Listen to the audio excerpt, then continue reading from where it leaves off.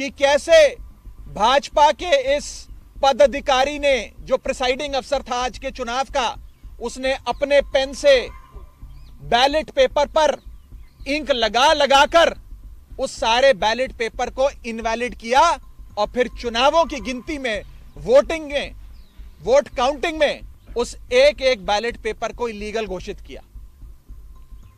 पहली बार चंडीगढ़ मेयर चुनाव में कुल 36 वोटों में से 8 वोट इनवैलिड घोषित कर दिए गए। इतिहास में आज तक नहीं हुआ।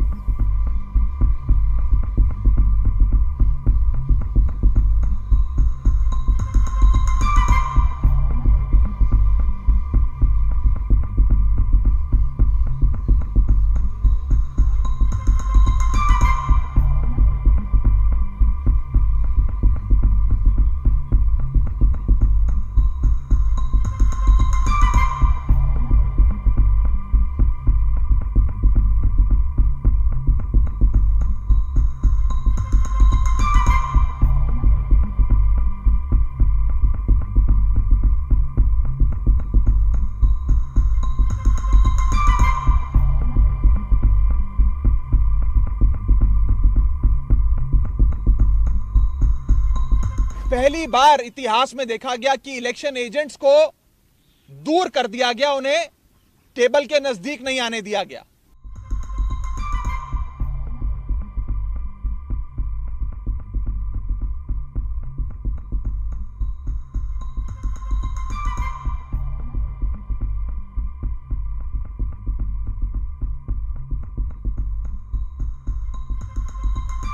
हमारे प्रोजेक्टिंग ऑफिसर हमारे उन्होंने की नहीं है सब कुछ हुआ है। बिल्कुल सामने ऑन कैमरे के सामने हुआ है सब कुछ रिकॉर्ड आ रहा था। पर जब इनको जब इनको लगा कि हमें अपनी हार बर्दाश्त नहीं हो रही है तो इस तरीके से फिर इन्होंने वहाँ पर माहौल दूसरा बना दिया।